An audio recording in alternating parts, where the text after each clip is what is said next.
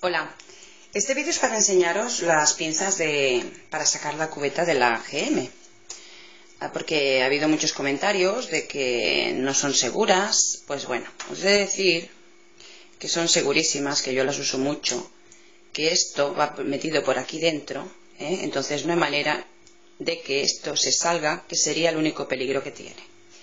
Entonces os voy a enseñar. No está con una olla de caldo como a veces se discute que si la olla de caldo está llena se nos puede resbalar.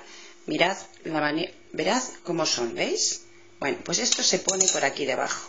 La cubeta, ¿veis que tiene ¿eh? para coger? Pues lo tengo lleno de habichuelas, de judías pintas, ¿eh? que acabo de hacer.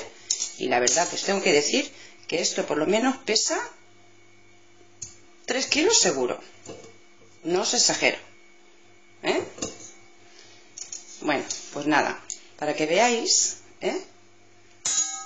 Mirad, todo esto pasa por aquí dentro. Si solo estuviera cogido aquí, os digo que sí, que podría salirse ¿eh? y hacernos daño.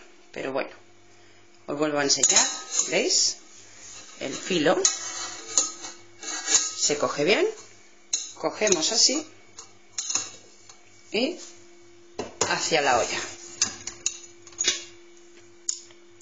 Bueno, pues veo más seguro esto que, por ejemplo, cogerlo así. Así sí que nos puede resbalar. Pues nada, solo quería enseñar eso, ¿eh? Que os las aconsejo, que va muy bien. Pues venga, amigas, ya os iré enseñando más cositas. Hasta otra.